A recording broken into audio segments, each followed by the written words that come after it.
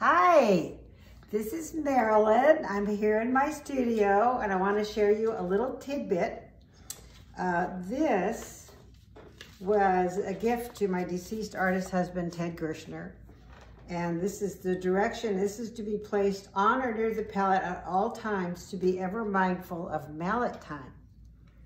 Now, mallet time is described as it takes two people to do a painting, one to do the painting and the other one to hit you on the head when you're done.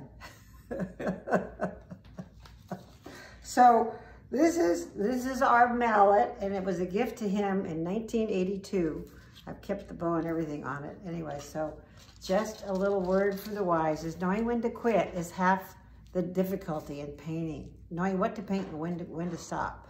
So usually actually I stop when there isn't anything more I can do to correct a painting. So thank you.